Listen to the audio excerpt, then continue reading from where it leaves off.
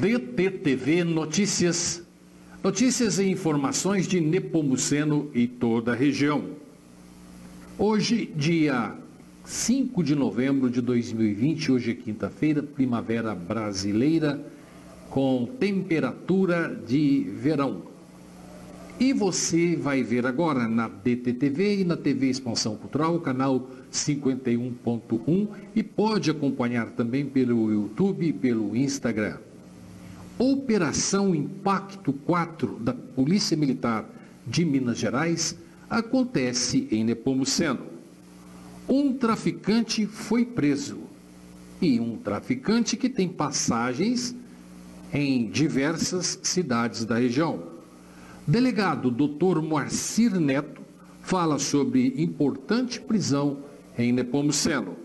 E entrevistas com candidatos a prefeito de Nepomuceno acontecem na DTTV, aconteceu na terça, na quarta, hoje na quinta e amanhã também.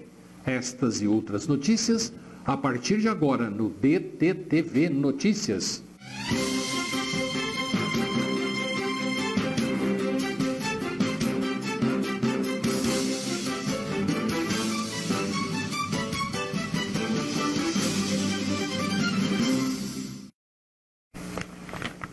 Covid-19. Diversos países da Europa estão tomando decisões drásticas em relação à segunda onda da doença, do coronavírus, do Covid-19.